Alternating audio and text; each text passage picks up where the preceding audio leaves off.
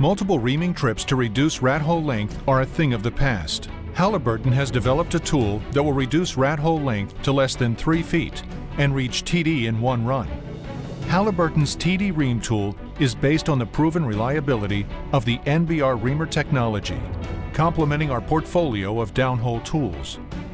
Here we see the TDReam tool combined with an XR reamer drilling assembly being run in hole.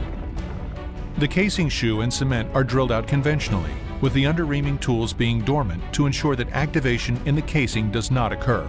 Drilling of new formation continues until the XR reamer tool is below the casing shoe. A ball is dropped and pumped down, which activates the XR reamer and allows the arms to open. Once the XR reamer cutter arms are fully deployed, simultaneous drilling and reaming commences until TD of the section is reached.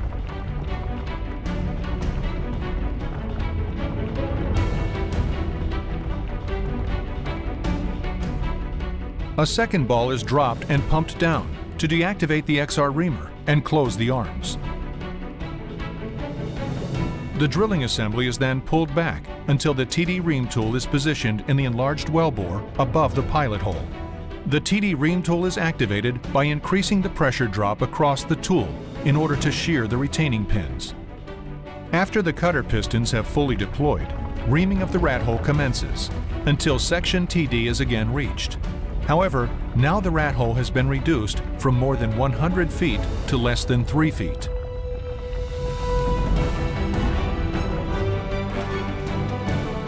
And the drilling assembly can be pulled out of hole and casing operations commence without the requirement for an additional dedicated reaming run. The TDReam tool was developed to save operators time and money, demonstrating Halliburton's focus on solving customer challenges by applying reliable technology in innovative ways.